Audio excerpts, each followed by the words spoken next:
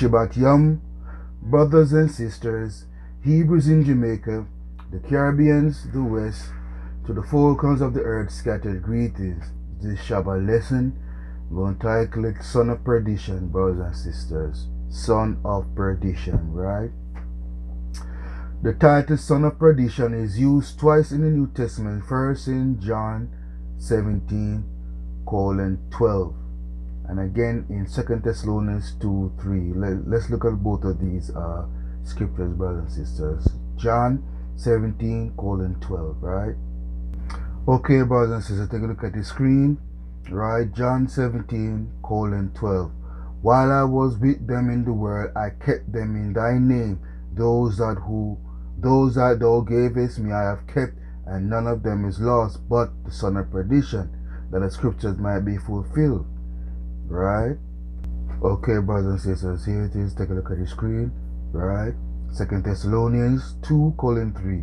Let no man deceive you by any means, for that day shall not come, except there come a falling away first, and that man of sin may be revealed, the son of perdition.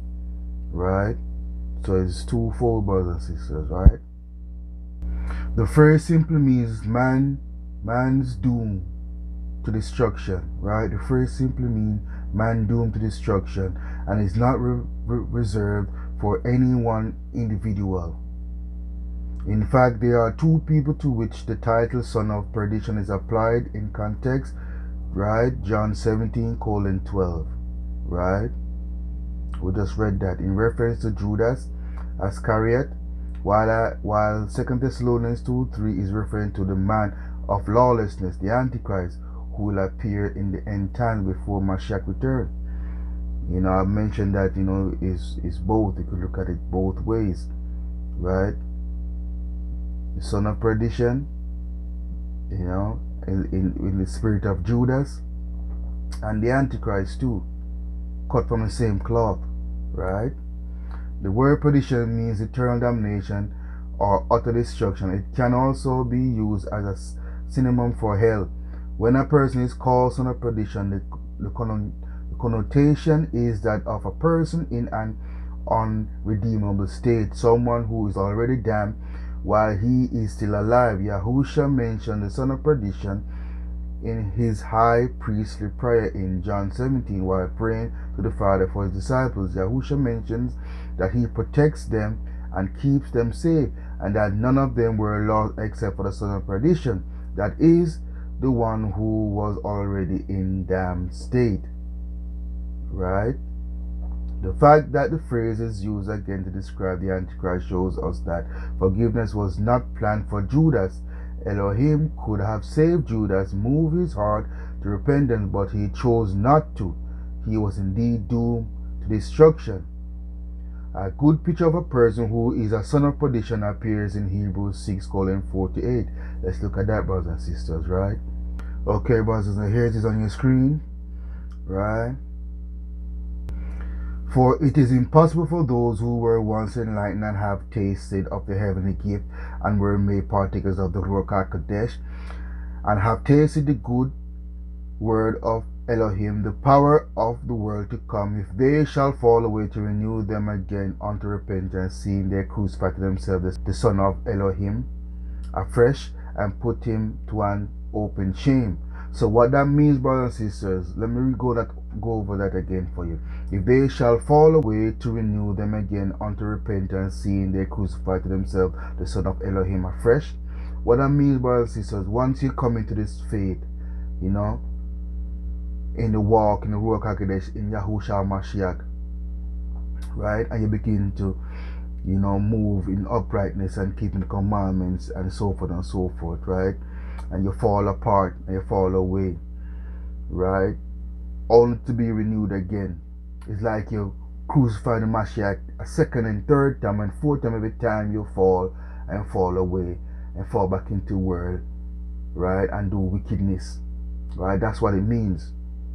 You understand? You crucify it to themselves the son of Elohim afresh. I mean, you, you know, it's like, it's like, uh, you have a freshly um uh, freshly cut wound, right? And then the wound is healing. but then you go back and pick at it, you pick at the scalp, and you you know when you, you keep picking picking at it, you reopen that that that, that wound again, right? That's what it means, you know. And it goes on to say, and put him to an open shame, right? Again, you put the Mashiach to shame because he had redeemed you and then he went back out in the world to be a part of the world and its wickedness. Yes, I mean. For the earth which drinketh in the rain that cometh off upon it, and bringeth forth herbs meet to, for them by whom it is dressed, receive blessing from Elohim. Right?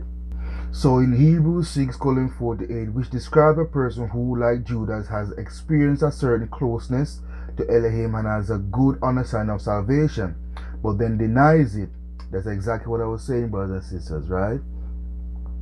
You come into this faith, you walk in this faith, right? You know the blessing, right? Of the Most High and what He has for us, those who are keeping His laws, commandments, and statutes. And you say you believe in the name of Yahusha, but yet still deny the salvation thereof. Right? Right, brothers and sisters? So a good picture of a person who is a son of perdition appears in Hebrews 6 4 8, which describe a person who, like Judas, has experienced a certain closeness to Elohim and has a good understanding of salvation, but then denies it. Instead of bearing good fruit, he bears thorns and thistles. Exactly. Right? Right, brothers and sisters? This is a person who sees the path to salvation which is trusting in Elohim's grace to cover sin. Ephesians 2 8 to 9. Let's look at that, brothers and sisters. Take a look at the screen. Okay, brothers and sisters, Hebrews 2 colon 8 to 9. For by grace are ye saved through faith, and that not of yourself is in the gift of Elohim, not of works, lest any man should boast. Right? So, who does the saving? The Ruach HaKodesh. That's the gift right? For by grace you are saved through faith. So what is the faith? Yahusha, right? And not of yourselves.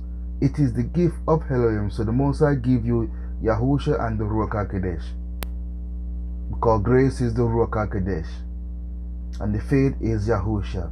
Not of works, lest any man should boast. So there you have it, brothers and sisters. Right?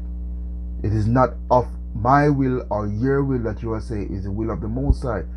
He chose whom He chose from the beginning, right, to be saved, and He chose those who from the beginning to be damned, like Judas and men who have the spirit of Judas and Hashatan, right? That's will of the Most High.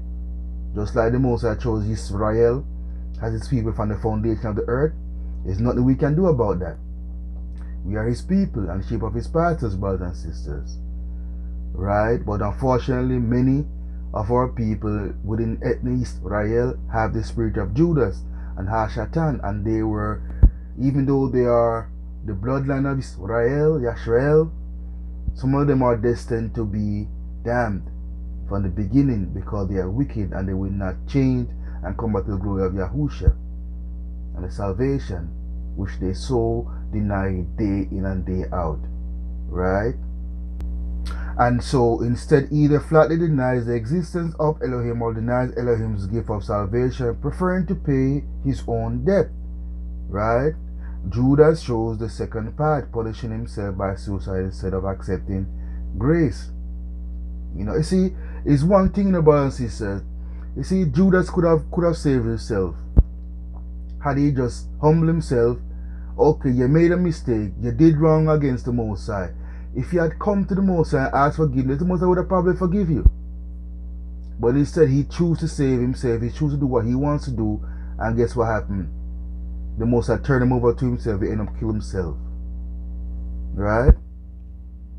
However, Judas and the Antichrist are extreme cases. It is never right for a human being to label another person son of perdition because only Elohim knows the ultimate future of each human soul. Only with these two individuals, individuals did Elohim choose to reveal his plan for their eternal damnation. With every other person, no matter how lost or evil he may seem, we are to hope and pray for his redemption. Right? First Timothy 2 colon 1. Okay, brothers and sisters, you know, this, this scripture is coming from the Sefer Bible, First Timothy colon 2, 1 to 7. Right? Timotheus, Alif, First Timothy 2, colon 1 to 7, Sefer Bible, right? First of all, then I urge that petitions, prayers, intercession, and thanksgiving to be made for all men, for sovereigns and all those who are in authority, in order that we lead a calm and peaceful life in all reverence and seriousness. For this is good and acceptable before Elohim our Savior, who desires all men to be saved and to come to the knowledge of truth. For there is one Elohim and one mediator between Elohim and man, the man Mashiach, Yahusha. So you see right there, this does not tell you about religion and, and, and Christianity and so forth, right? Many churches out there today, brothers and sisters, have their own intercession, own mediator. Some have Mary, some have this, some have that.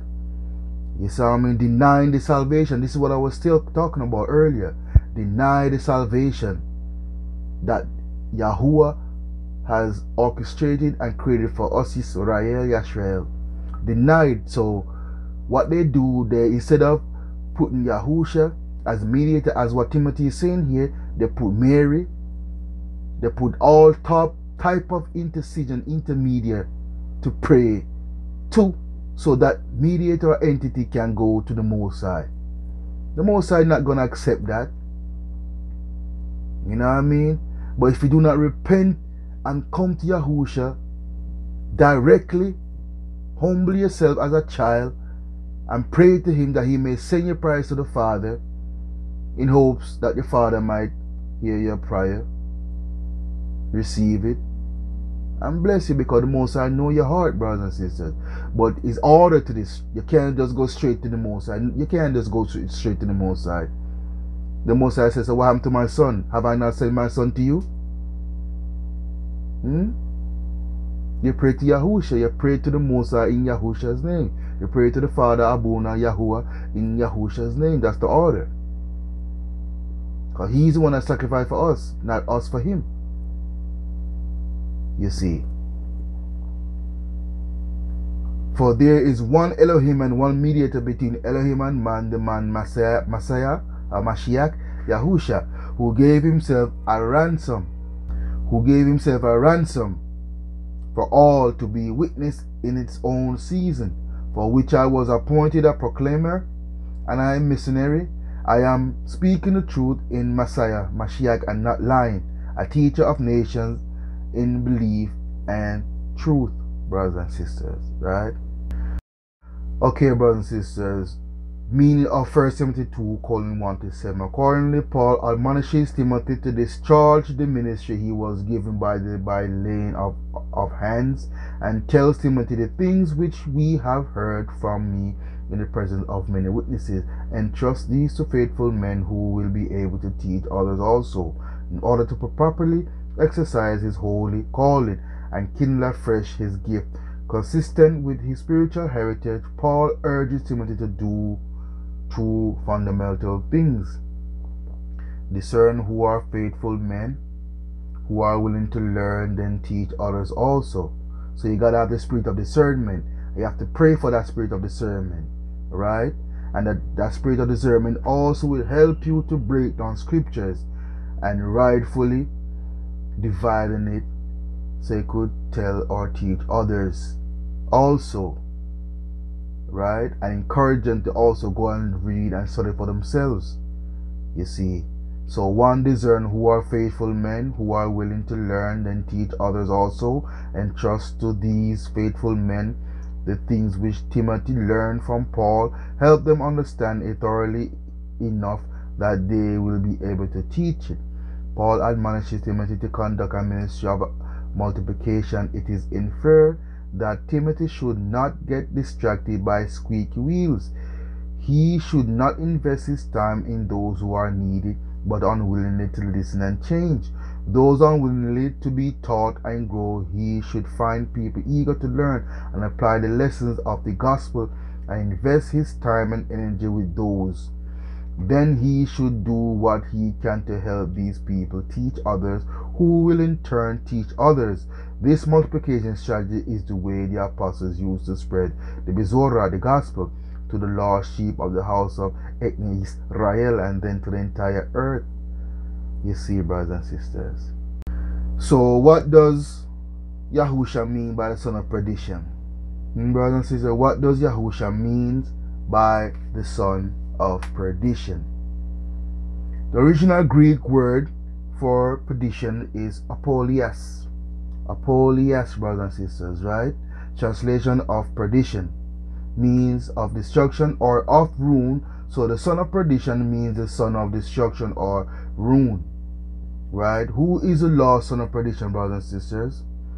Judas Iscariot, who after betraying Yahushua committed suicide instead of repenting and went to hell for everlasting destruction. As I'm saying, Judas could have Judas could have saved himself by humbling himself and repenting, but he chose not to because of pride. And there's a saying, pride coming before the fall. There you have it. And pride is also of Hashatan. Because of very because he is the father of lies and he created pride or developed pride. Right? And that same very spirit caused him to fall from heaven as lightning. Right? By saying, Those whom you gave me I have kept, and none of them is lost except the son of perdition right? Is Yahusha saying that he lost someone that he was expected to keep or should have kept? No. Gave does not connote the need to keep when chosen as one of the twelve apostles of Yahusha. Judas Iscariot may or may not have known that he would betray Yahusha three years later. Hashatan may have thought that he had managed to infiltrate Yahusha's inner circle with a thief whose love of money could be used later to betray. But Elohim, the Father, and Yahusha knew perfectly well that Judas Iscariot would betray and that his betrayal would lead to Yahusha's arrest and, crucifixion, and had included him among the twelve for that purpose. Throughout the Bible, Elohim used both heaven bound and hell bound people to direct history. And that's happening right now, brothers and sisters, in this modern time. Those who associate being used by Elohim with salvation while continuing to live in sin do so at their own peril. Hmm. Many will say to me in that day, Adonai, Adonai, have we not prophesied in your name, cast out demons in your name, done many wonders in your name? Then I will declare to them, I never knew you. Depart from me, you who practice lawlessness. Right? And what is the lawlessness, brothers and sisters? Not keeping his commandments, not adhering to his word. You understand? You're practicing worshiping on the wrong day, celebrating their feast days that the Babylonian system give unto you. Is connection to to to to to false god and idol worshiping brothers and sisters. Lawlessness, not keeping the commandments. Right? John 17, colon 13. But now I come to you, and these things I speak in the world, that ye may have my joy fulfilled in themselves. Right? Yahusha let the eleven apostles hear this prior to the Father? Yes, these things I speak in the world. Right? So why? The question you need to ask why? That they may have my joy fulfilled in themselves. you see that right, right, brothers and sisters? It's also recorded in John 17 13. Right? Alright, brothers and sisters. So, in the book of Revelation, a prophet named John experienced a vision of the risen Mashiach, who asked him to convey a message to each of the seven congregations of Asia Minor, Ephesus, Smyrna, Pergamon, Thyatira, Sardis, Philadelphia, and Las and Laodicea. Right? To the Pergamon congregation, this is the message. And to the angel of the congregation, this is in Pergamon, right? Thus say the one who has the, sharp two-edged sword, I know where you dwell, where the throne of Hashatan is, and you hold fast to my name, and you did not deny my faith, even the days of Antipas, my witness, my faithful one who was killed among you, where Hashatan dwells. Right, brothers and sisters? One of a symbolic level, that throne of Hashatan mentioned in this passage represents a power in opposition to Elohim, a power that is embodied in Roman imperial might. Throughout Revelation, a system of symbol associated Satan, Hashatan, depicted as a dragon or serpent with a Roman Empire emperor depicted as a beast. Unlike other early writers, John the prophet did not encourage his audience to honor or obey the emperor, but instead encouraged by means of his symbol and rhetoric resistance. Right? The key to understanding this church is the, the physical geography in connection with demonic geography, so to speak. Right, brothers and sisters, if you take a look at the screen, right, you will see uh you will see uh, a map of Pergamon that is in uh Turkey. Right, brothers and sisters? That's in Turkey. Pergamon. Right? You can see it on the screen, brothers and sisters. Pergamon. Turkey. Right? And it and it and it's and uh, also too, brothers and sisters, right? Turkey is a very um very interesting location. Cause that's where your your you, you, you um Mount Ararat is located right? That's where Mount Ararat is located. And also the seat of Hashatan. Right? Take a look at the screen, you will see the image, um, the seat and the image of Hashatan, his throne, where his throne is. Right? Right? You see all the images, right, brothers and sisters? So, Mount Ararat is a very interesting location Right, brothers and sisters, Mount Ararat is a very interesting location because of the flood. That's where Noah ark rested on Mount Ararat, brothers and sisters, right?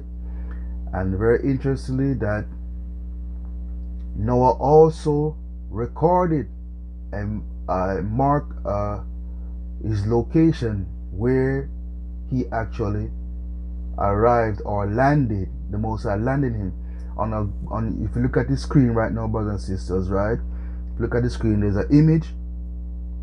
There's an image of a rock and it got eight engraving in this in the sign of a cross right? And you will see those eight engraved images and those image and those marking represent Noah and his three sons and their three wives and his wife brothers and sisters right It's very, very, very, very interesting and historical artifacts and fact. Again, proving that my Father's word is true and it will not come back to him void. Hallelujah. Right, brothers and sisters? So as you can see, with the, the, the, the on the on the on the uh, the stone, the eight signs, right?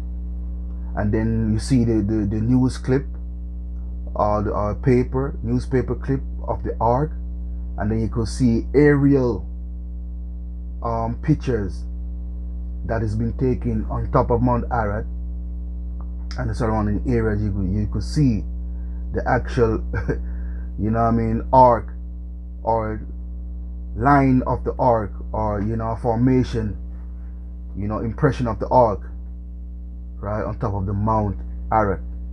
Right, brothers and sisters, is a very interesting thing to see. You could see that you could actually see the outline of some type of vessel, a huge vessel. Right, brothers and sisters, you know, you cannot make these things up, brothers and sisters, right? You see all of that, right? Even a drone image. And it points out point by point. Right? Very amazing brothers and sisters. Very amazing right? So the key to understanding this church is its physical geography in connection with the demonic geography so to speak. This is ecclesiastical and satanic geography is significant For the devil's dwelling is in the same city wherein this church dwell, affected the congregation spiritually. So, what does Revelation 2 colon 13 says about Satan's or Hashatan's presence in Pergamos? First, the devil dwelt there, being a spirit. The devil does not need a house or a kitchen or a bed or such like, but he is said to dwell in Pergamos, in that when he was not on his travels, Job 1 colon 7, 2 colon 2, 1 Peter 5 colon 8, uh, write these things and then go research and read them for yourself, brothers and sisters, right? He lived and abode there. He was present there personally more than anywhere else. What a place. Second, not only did the devil dwells there, but he even had his throne there, literally. Right? You could see an image of that on your screen right now, brothers and sisters, right? Right? Called Satan's seat, Revelation 2, colon 13, is Satan's throne bespeaking his government, rule, and reign in Pergamos, the devil exercised greater sway, influence, and power than in other places. The devil is the God of this world. You know, Second Corinthians 4 colon 4. In that most of its citizens lived and died in unbelief and sin, thus serving and following Satan. But in Pergamos he was even more powerful as the king ruling from his invisible throne. You can imagine what things some people might claim about such remarks today. It is not politically correct to say that that might hurt Pergamos' economy but putting people off the city. What was John thinking of in saying a thing like that? He's supposed to be an apostle. Where is the love? but these are the words of scriptures. I know thy works and where thou dwellest, even where Satan's seat is. We just spoke about that earlier. Where Satan dwelleth, Revelation 2, colon 13. These are the words of Yahusha. Yahusha Mashiach and the Holy Spirit. Right?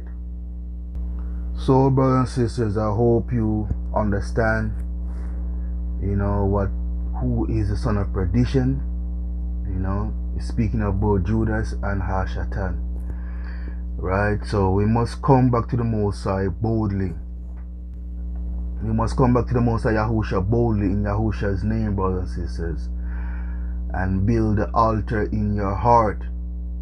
Right? Not a physical altar, but an altar in your heart. Because the Most High require, you know what I mean, a broken and contrite spirit.